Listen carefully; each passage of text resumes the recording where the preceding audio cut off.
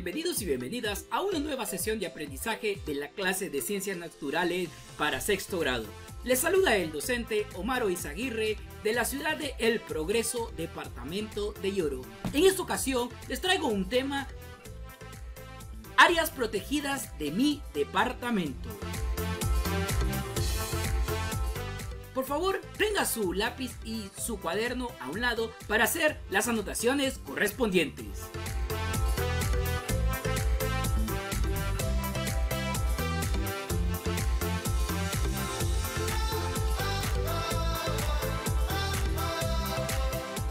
La expectativa de logro es identificar las áreas protegidas del departamento en el que viven.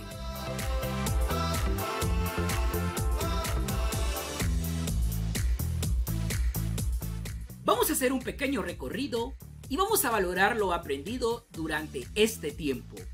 En la zona norte de nuestro país encontramos el Parque Nacional Janet Caguas, el Parque Nacional Pico Bonito, el Parque Nacional Punta Sal, Parque Nacional Punta Isopo, el, Refugio de Vida Silvestre Cuero y Salado, el Refugio de Vida Silvestre Tesigua.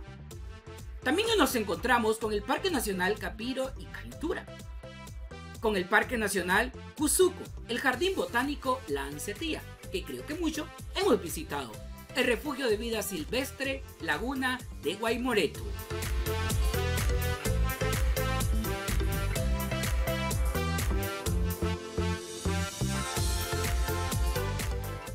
Llegamos hasta la zona sur de nuestro país, allá por donde quedan los departamentos de Valle.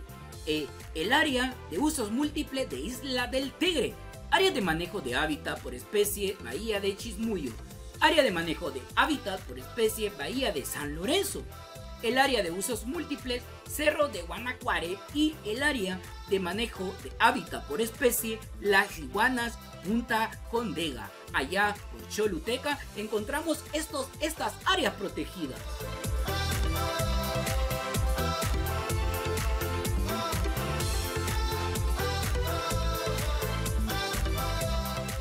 Y visitamos la zona oriental de nuestro país, Conocimos que también está en la Reserva Antropológica El Carbón, el Parque Nacional Pájaro Patuano, Reserva Biológica Laguna de Caratasca, Reserva Biológica Rus Rus, Parque Nacional Patuca, Parque Nacional Guarunta, Reserva Biológica del Río Plátano y Reserva de la Biosfera de los Tahuacas.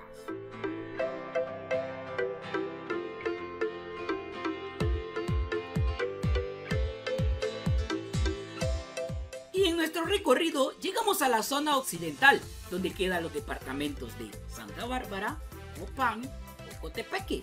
Y nos encontramos el refugio de vida silvestre Puca, monumento natural Congolón, reserva biológica El Pital, reserva biológica Volcán de Pacayita, Parque Nacional Celaque, monumento cultural Ruinas de Copán, que es una belleza, una maravilla del mundo, reserva biológica El Guayalzote y el Parque Nacional Finio Montecristo.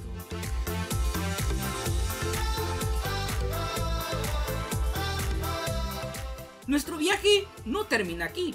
Nos vamos a la zona insular de nuestro país y nos encontramos con el refugio de vida silvestre Santa Elena, Reserva Marina Turtle Harbor, Refugio de vida silvestre Cayos de Utila, Reserva Marina Barbareta, Refugio de vida silvestre Port Royal, Parque Nacional Marino Cayo Cochino y Reserva Marina Sandy Bay.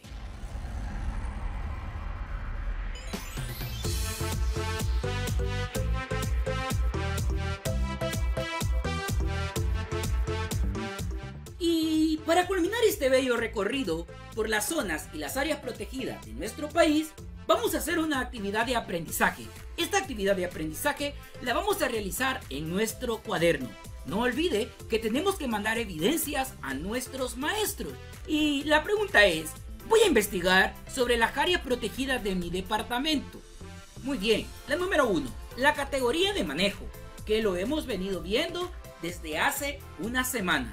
La función de las áreas protegidas por su categoría de manejo. Nombre de las áreas protegidas.